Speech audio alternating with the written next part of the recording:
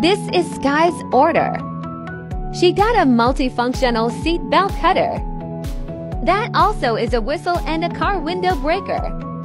She also got a multifunctional kitty cat knuckle. That is also a screwdriver and a bottle opener. Multifunctional tools are a must. Thank you so much and stay safe.